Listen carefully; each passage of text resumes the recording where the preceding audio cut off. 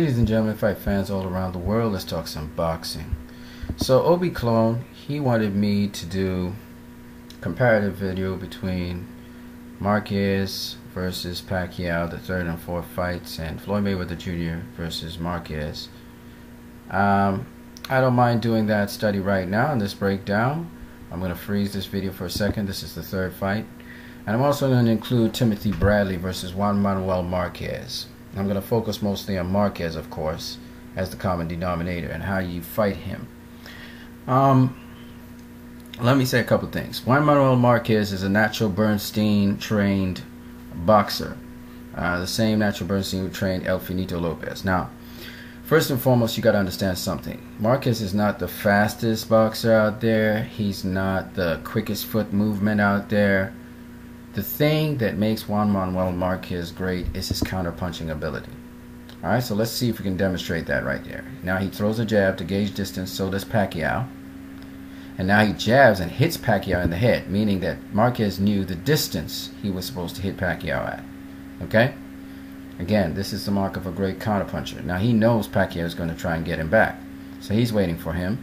And Marquez therefore doesn't have to move that much in the ring. Because Marquez doesn't move that much at all. Notice he has the high guard defense. His vulnerability is right here. The problem with this defense is it protects and guards the chin and the head very well. So any hooks or any uh, punches like that, it will guard it very well. If you come straight up the middle, they close up the guard or he twists to the side so that the, the guard will protect him. But he's always vulnerable to the body. Okay? Uh, some other flaws in this defense, but remember, Marquez is not the most mobile guy. Notice his stance is not extremely wide. He has a relatively small stance versus Pacquiao's stance, which is much wider. And as such, uh, Marquez, at least in this particular stance, cannot pivot as nicely and as well as he would like to. There are a couple other things about this style that I need to talk about. When Marquez throws an uppercut, he does not guard his chin and so he's open for a left jab or a a, uh, a left jab if you are a right-handed opponent and the left lead. And so he can get knocked down and he's been knocked down a couple times because of that okay? So um, having said that this these are the flaws in the style. Remember Marquez is not the quickest guy in the world you have to understand, therefore, that if you get into his counter punching range, so Marquez, what he does is he tricks you into getting into his counter punching range so he can counter punch you. Okay? He sets you up for a counter punch, and he's very, very dangerous. He has great, great boxing knowledge, but once you get inside of a certain range with him, he knows the range very well, and it's indicated by the tip of his foot. He knows once you get past that point, no matter where you are, he can counter punch you. Okay? All right, so let's get into Juan Manuel Marquez. Now you know somewhat about his style. Now he has a dance partner, Manny Pacquiao. And the major problem with Manny Pacquiao that you will see is that Manny Pacquiao, he has great judge of distance and everything, but because he's so engaging, he stays within a certain range to be counterpunched. That's what makes Pacquiao a good dance partner for Marquez. Pacquiao goes into the risky zone and he tries to slip and counter and use his defense, but he knows better than that that the risk factor increases, especially with a counter puncher like Marquez. It increases exponentially every time you enter into that zone. So let's go watch at Pacquiao versus Marquez. This is the third fight, and then I'm going to look at the fourth. We're comparing across the board round number six. So you're going to see round number six throughout this thing. So here it is. Marquez throws a jab. He's gauging distance, and then he hits Pacquiao to the stomach. Pacquiao's going to try and reply. Marquez puts a jab to make sure that he stays away. Again, Marquez is there. He goes again. Pops Pacquiao. Pacquiao hits Marquez. Pacquiao comes in again to the zone, and he, he get, loses balance. He's coming in a little too recklessly. And Marquez is a guy you don't do that to. Let Marquez pops him with an uppercut, sneaks into his zone. Here's Marquez again. He slaps him to the with a, a blow to his stomach area. Notice not much foot movement by Marquez. Basically stays one place. Pacquiao pops him. Marquez counters him as he's moving away in evasive action. It's because Pacquiao stays too much in the zone of Marquez, his strike zone. He doesn't get out of the strike zone. Here it is again. Pacquiao tries to throw a shot. You see, he stays in the strike zone, so he gets countered by Marquez with a straight right. He hits Marquez with his looping right, right hook. But Mark, he stays too long in the strike zone. Marquez hits him with a, st a, a, stomach shot while he's hitting Marquez with a stomach shot. You see what I'm saying? He's too close in the strike zone. See, Marquez, there he is again. He's not there yet. Look at the feet. Catches Marquez, tries again. Marquez is, uh, goes around him, tries to hit him. Watch the feet, if you can. Marquez is in strike zone again. Pacquiao is still in that strike zone. Now he's moved away. Marquez is waiting to counter him. Unfortunately, you can't see their feet to see how close they are to each other. Pacquiao hits him with a lead left. You'll see the feet now, I hope. Because he's right in the strike zone. Marquez is using his jab to keep Pacquiao at bay. Please show me the feet. Guess we won't see the feet. I wanted you to see it, but I don't think that's going to happen. So anyway, the thing about it is Pacquiao is right now on the periphery of that strike zone. There goes there goes Marquez with two straight lead uh, rights that hit Pacquiao because Pacquiao stays too long in his strike zone. Same thing happened in this fight. This is the fourth fight between them.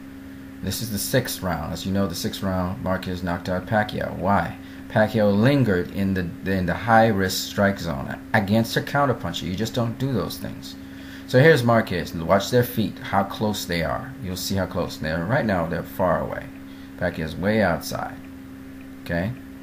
Now, Pacquiao, his style is such that he inches towards you. See Pacquiao's inching towards Marquez? Just look at his feet. He's on the outside, but he's inching. They both miss, but he was in the strike zone. He's going to try again. There he is with the straight left. He's in the strike zone, so Marquez catches him 1-2. Of course, he has the high guard defense to protect himself from Marquez. They're far away. Marquez slips. Watch their feet. Pac is trying to inch in on the outside. He catches him with a beautiful right hook. Marquez ties him up. Alright. I can't stay too long on this, so I'm just going to leave that alone. You can always go and look at the sixth round on your own time. But here's the thing. They're far away right now. Pacquiao catches him with a little jab. Marquez in the strike zone. There you go. Catches him again with that uppercut. So Marquez knows Pacquiao stays. He stands. He doesn't he doesn't respect distance. When Marquez is coming in, he's not leaping back. Now let me show you what happens with Timothy Bradley. Watch how Timothy Bradley respects distance. So here's the sixth round again, like I said. It's Timothy Bradley. See, he leaps in and out, in and out. Bradley counters. He moves out. Marquez is countering him because once you get in a certain strike zone with Marquez, you're more than likely going to get hit. Here's Bradley sneaking up, uses the jab to find his range. Push Marquez back a little bit, but that's not really really what's happening. Marquez is setting up to counter him. Throws the jab, throws the jab to the pit that pushes Marquez back, and he's out of there. He doesn't stay in the strike zone very long with Marquez. Marquez don't move that much.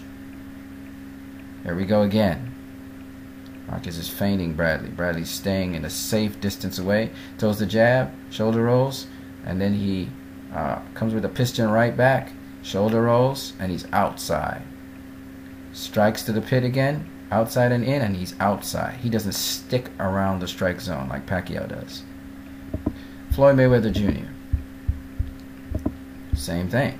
But the difference is Mayweather is longer and has a longer reach, so he can stay pretty far away from Pacquiao. Notice their feet.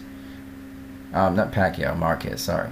Marquez goes into the strike zone, but Floyd is all covered up, defensively minded like Bradley. Just a little bit more advanced. See, he's sneaking up on Pacquiao. Notice his feet, and then he goes inside of Pacquiao and strikes. Um, not Pacquiao. Marquez, sorry.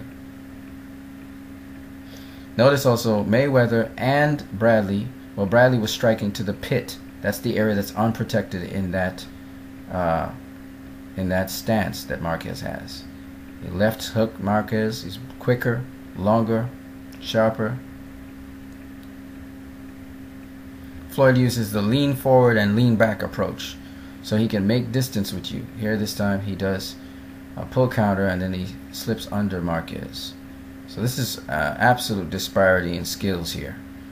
and also in length. It's mostly length that's the problem here. Marquez is trying to find range. Floyd is way outside, and there he catches him with a jab to his face.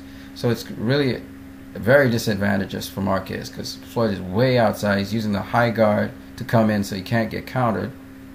And then he uses the shoulder roll defense. And he inches up to Marquez. It's very, very difficult for Marquez to deal with that. Besides range and distance, he has to deal with length, the reach of Floyd Mayweather. See, there goes that jab way out there. Marquez can't counter that. Okay? But Timothy Bradley was the in and out action. He wasn't trying to stay in the strike zone. Floyd can actually hit him outside the strike zone. So that's an extra problem. Okay? But Bradley strikes, notice the one area that Marquez does not protect with the high guard defense. Okay? So these are the differences. So let me just recount again. Pacquiao engaged too much, stays too long in the strike zone. So that's why he's a good dance partner for Marquez. Timothy Bradley was in and out. As he struck, he was out because he knew this was a counterpuncher. Floyd Mayweather had longer reach, so he could actually be outside the strike zone and hit Marquez. And besides that, he had that great defense so that when Marquez tries to throw some combinations, he's really just hitting arms and elbows. Alright, so that's the breakdown there. Why this style that Marquez has was been so engaging with Pacquiao, whereas with Mayweather and Timothy Bradley, it was much more difficult for Marquez to actually use his style on them because he has limited motion and he's not that fast. And the other thing is the vulnerabilities in his defense, which are exploited by quicker, faster opponents. Okay, so that's basically it. You guys have a great day now.